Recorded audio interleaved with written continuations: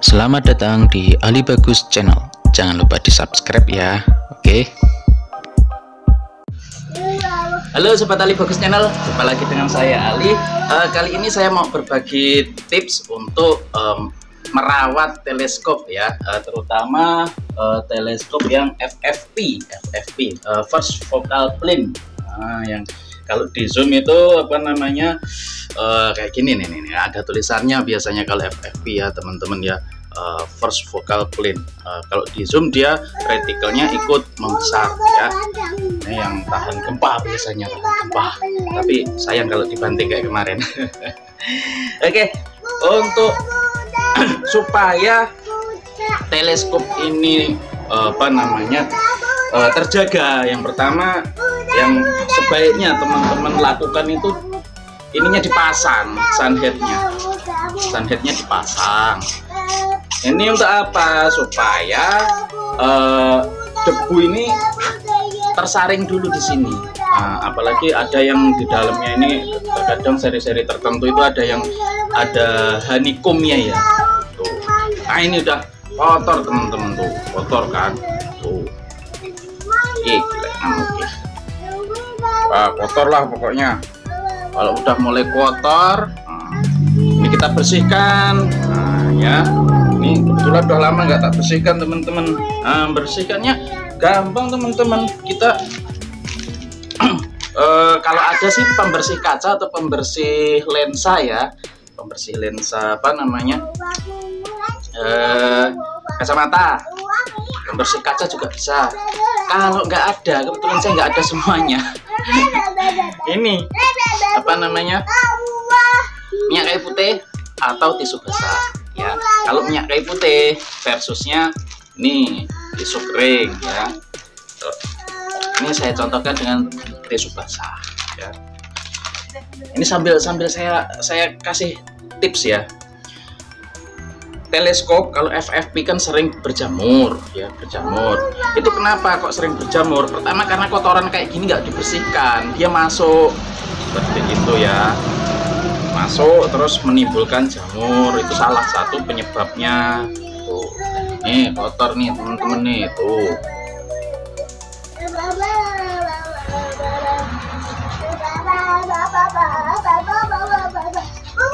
Bersihkan dulu kalau pakai tisu basah tetap nanti dilap lagi pakai tisu kering ya teman-teman ya. Jangan sampai nggak dilap. Bisa bahaya nih kotor sampai hitam-hitam. Nah udah. Kira-kira udah bersih. Bentar aja. Jangan terlalu ditekan ya teman-teman. Mending ditiup. Besok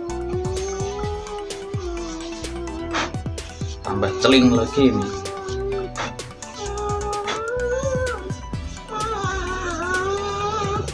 jangan terlalu ditekan takutnya melukai lensa. Seperti itu teman-teman.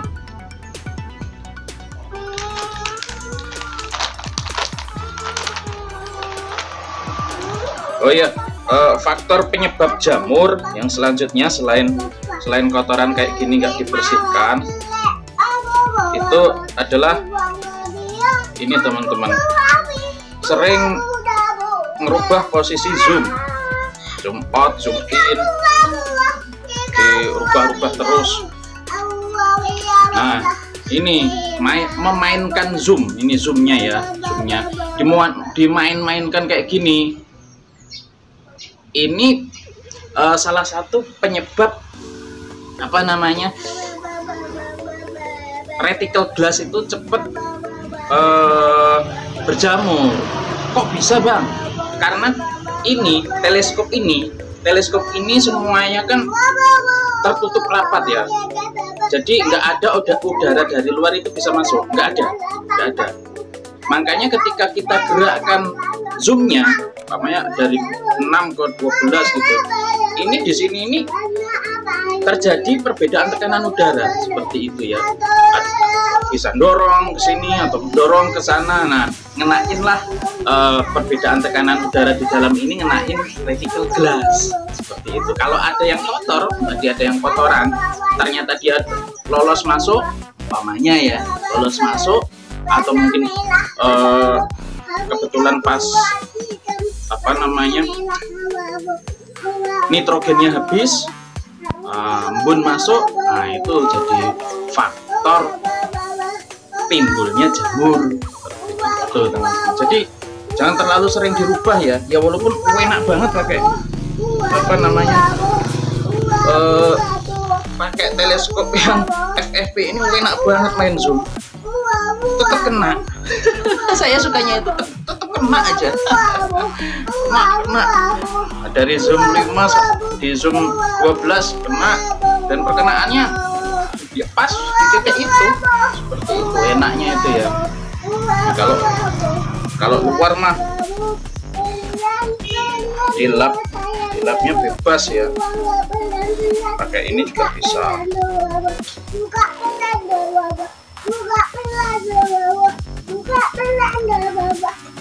ini buat ngelap chamber juga nggak apa-apa yang penting nanti dilap lagi teman-teman. Oke itu ya satu.